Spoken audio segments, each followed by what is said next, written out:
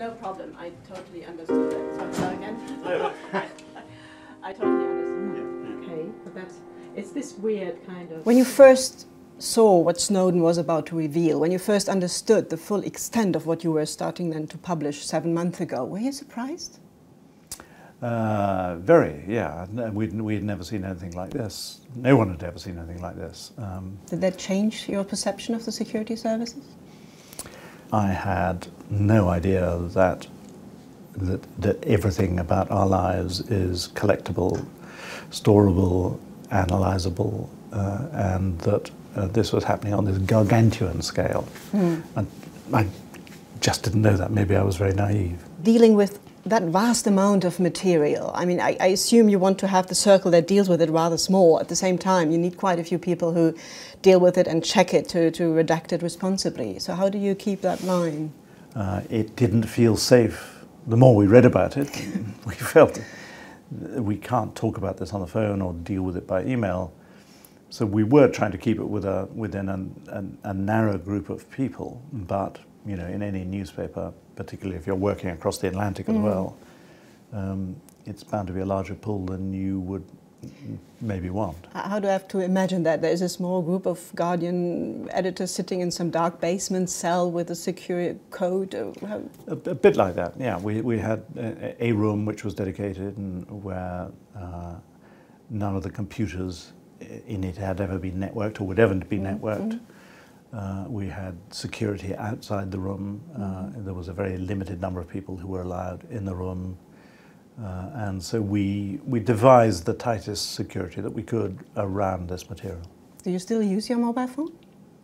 I still use my mobile phone, but I'm, I'm, uh, I'm now more aware of it as a tracking device as well as a phone. So I, I, I see that this piece of technology has several capabilities which I'm now much more aware of. Working on the Snowden story, you and The Guardian came under a lot of pressure too.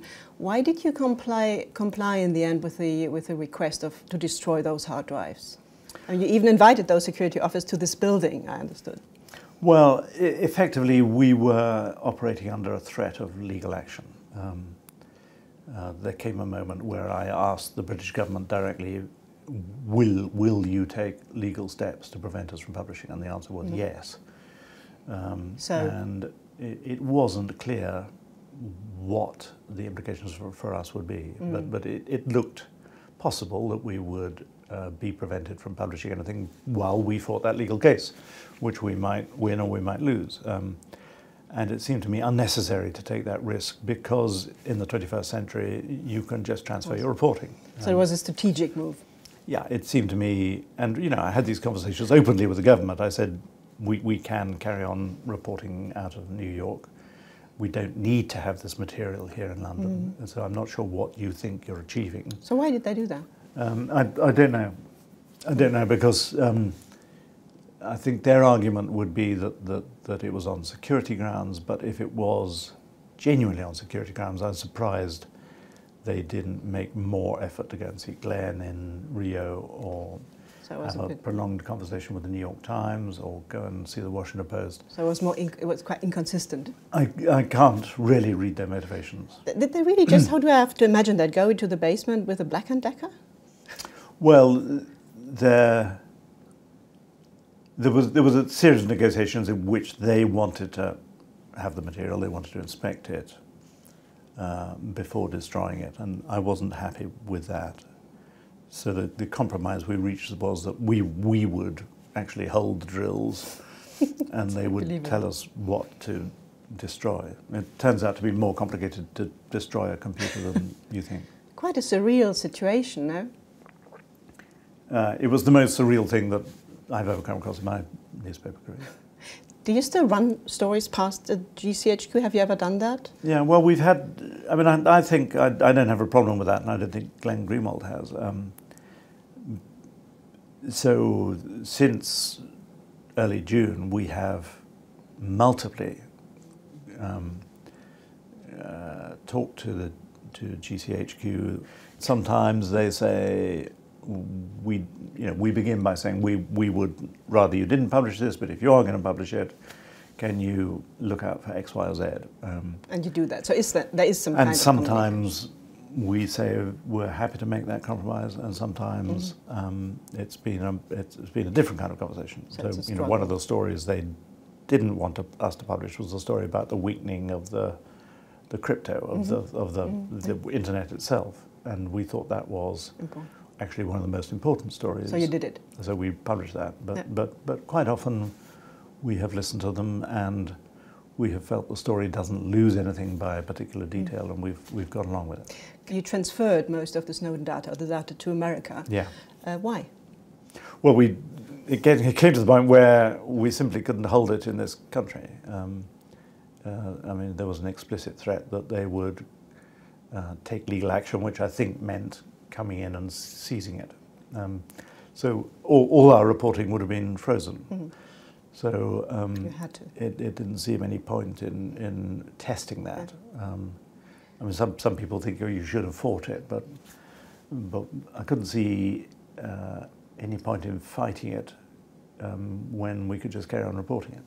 Do you love your country? Um, yeah, it, it, no, that, that seems a very odd question. Did that question surprise you? Yeah. Well, I, I, think like the person who asked the question, I think, meant it more kindly than mm-hmm. maybe it came over. But I think to many people it did sound vaguely McCarthyist. It, it seemed like a, a sinister question. Um, How do um, you personally cope with this pressure, Yander? Uh, oh, I take no exercise. I drink and listen to the radio all night um, and play the piano.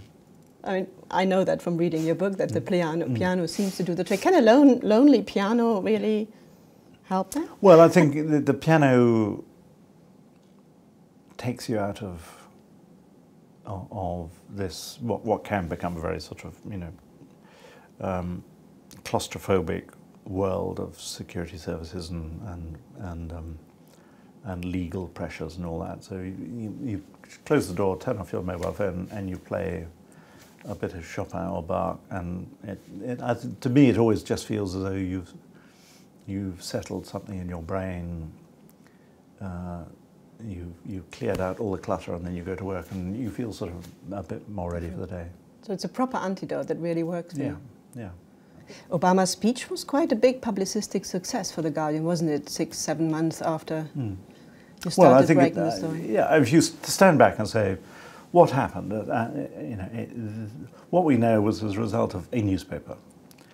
It wasn't a result of all these oversight structures that are supposedly um, uh, monitoring us on our behalf.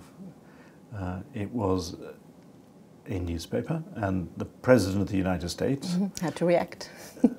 thought, evidently thought that what he had read was significant enough to have a review. Will we ever get that from Cameron? Well, I think it's it's difficult to imagine the GCHQ and the NSA are so intertwined. It's difficult to imagine reforming the NSA without having to think about GCHQ. So, do you think this will so change David Cameron's course? Well, I think I can't see how Britain is not going to have to have this debate. And I know nobody wants to have it. I think it's partly because you only have two main political parties, and they've they've both to some extent been responsible for this. Do you think the Guardian is safer from government pressure here, from Cameron's pressure after Obama's speech? Well, I think I think it's very difficult to say that there's no public interest in what we've done. You know, if the president himself has stood up and spoken for nearly an hour uh, and announced a series of reforms, um, how can you then turn around to the newspaper and say, you shouldn't have done that? Do you think anything will change after Obama's speech?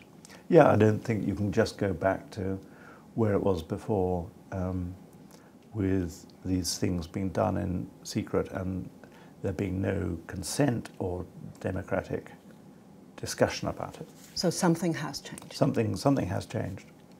Thank you, Alan Rusbridger. Thanks. Thank you very much. Okay. Cheers. And have a lovely day. Watch your head. Bye.